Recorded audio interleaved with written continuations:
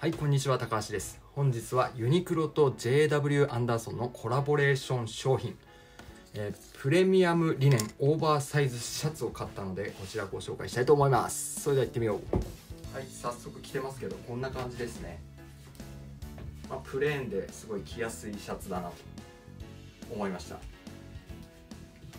で素材感なんですけど、まあ、リネン100%ということでやっぱりプルプル感のある動きのある素材感ですねぱ風でこう吹くとこうはためく感じとか表情がある感じがいいと思います。やっぱりリネン100%で落ち感があるので着た時にストンと落ちるシルエットになるのもいいなと思います。でオーバーサイズって名前もついてるのでやっぱ身幅とかしっかり取られてますね。L もこれ M で L も試着したんですけども L だとまあゆったり感すごい好みだったんですけどこの裾に結構たまたまる感じとかそういうのも良かったんですけど着丈がめちゃくちゃ長くなっちゃって結構 L にするとこんぐらいこんぐらいは長くなったかなって感じですね。そうするとこのベージュのお色味だとなんかちょっと宗教感みたいなまあ、ちょ若干宗教っぽくないですかこの感じ。これがさらに大きくなって前が長くなると結構宗教感が強調されちゃってなんで M くらいが自分はちょうどいいかなと思いました、うん、で独特のやっぱ理念の魅力このシワ感ですね。このシワはもうプラスと捉えていいシワだと思います。自然な風合いでいいと思います。あと結構まあプレーンなんですけど割とこの辺の感じは結構ギミックが効いてるなと思いました。普通シャツってこうここがこうラウンドしてるじゃないですか。滑らかにこうなってるとこれ結構直角にガッガッってなってるのが割と横から見た時にかっこいいのかなと思います。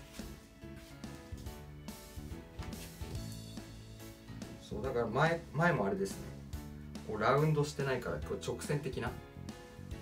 下が直線的になってるんで。まあ出して着ることを前提として作られてるなっていう感じですね。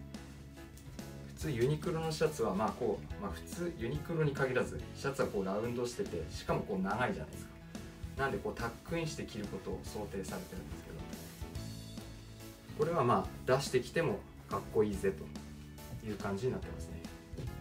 もちろんタックインしてもいいと思います。ちょっとより昭和レトロレトロな感じになるんじゃないでしょうか。まあ自分はタックインはしないですけど。で今この色がベージュなので茶色のパンツで合わせてちょっとアースカラーな感じでコーディネートしております。で中にはタンクトップを着て、まあ、割と落ち感を損なわないようにしてますね。これ中に結構ヘビーウェイトの綿100%の T シャツとか着ちゃうと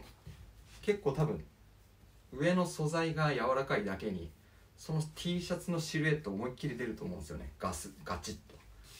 ここの T シャツの袖の終わりのあたりとかこの辺が膨らんじゃったりとかしてやっぱこの上のシャツが下の T シャツに負けちゃうとそういう感じになっちゃうんで中に着るならもうタンクトップ一択だと思いますね。開けて着ることもあんまり考えない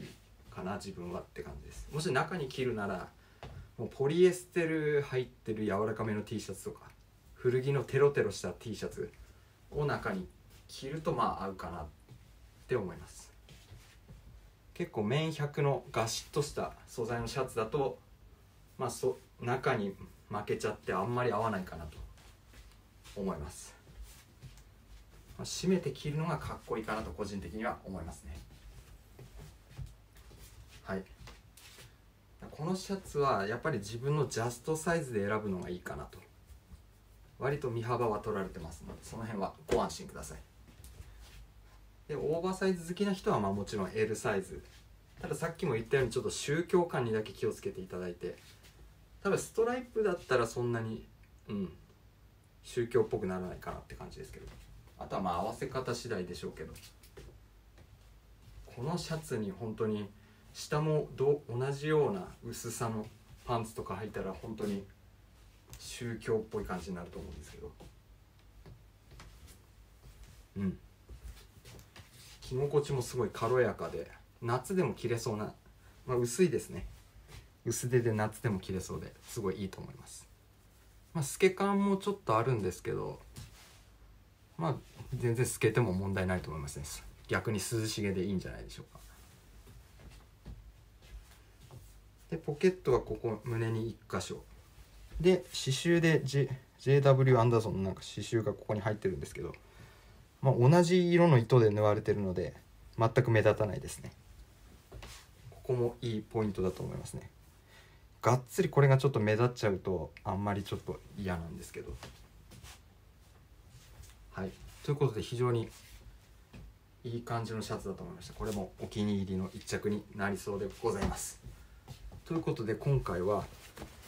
今回の、えー、JW アンダーソンコラボでは、えー、こちらもう一つイージーワンタックパンツっていうのも買ってこれ色味オリーブなんですけどこちら M サイズとあとポロシャツも買ってます。ポロシャツもカラーリングがすごい可愛いなと思って。これは L サイズですね、まあ、全部試着して。他にもいろいろ試着したんですけどこの3着がすごい良かったんで買いました。で今日は取り急ぎこちらのシャツのご紹介をさせていただきました。で後日ねこちらの2点の方も紹介させていただきたいと思いますのでよろしければまた見てください。それでは高橋でした。またお会いしましょう。バイバイ。